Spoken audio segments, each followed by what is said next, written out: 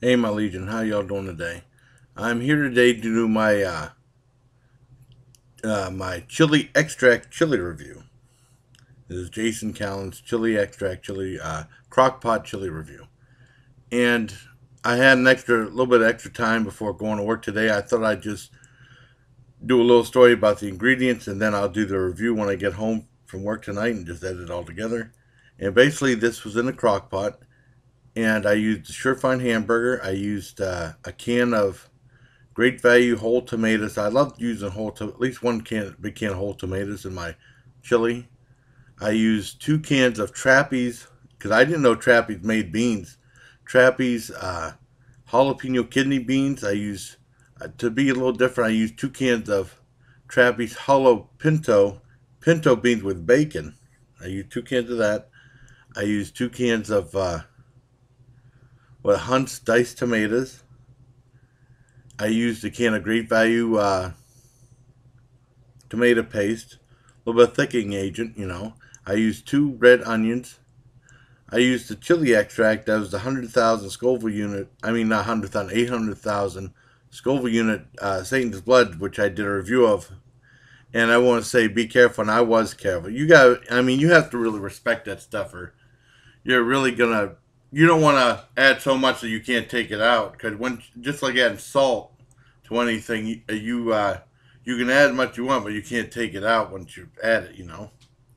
I didn't add any salt uh, but i added a i added some of that chili extract on there and i added uh, one can of the great value of the walmart brand uh, italian stewed tomatoes i love stewed tomatoes canned stewed tomatoes and I let I started making this yesterday at three in the afternoon, around three in the I assume I can't remember that time. Put it all together, and then at six o'clock I forgot to add to uh, put the onions in. I put onions in. I let it cook overnight at on low heat. I got up today. I looked at it. It looked really good. I put it on warm and uh, it should be enough to last me all week, which would be good. It'd be nice because I come home and I won't have to cook. I just have to, you know, just reheat it in the microwave, you know, when I refrigerate the leftovers. And I like leftovers anyways. So, uh, anything else?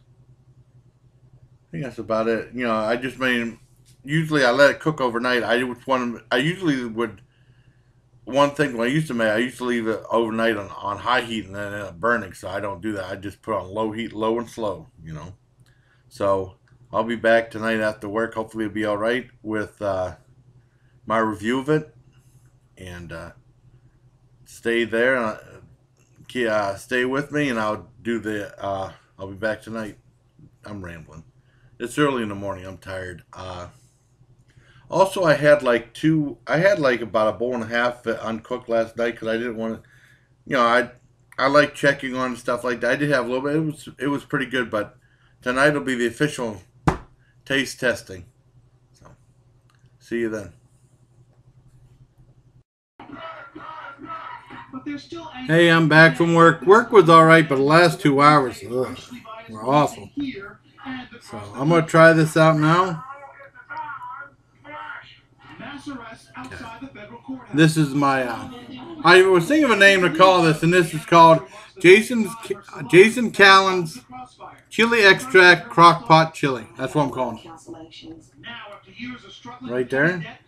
I'm gonna swing it down and I'll give it a shot. I got a pop right here too. I get to drink too.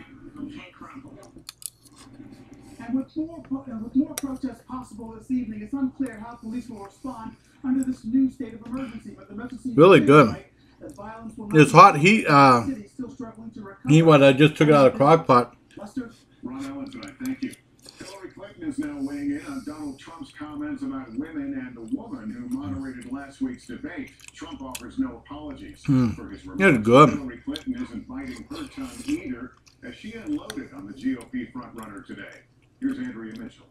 And there's heat. I like uh, equivalent to like maybe the ghost pepper grill. There is heat from that uh, the chili extract. But I mean, I was very careful. I mean, I might be getting some hot. I mixed it. I put it in. I mixed it all up real well.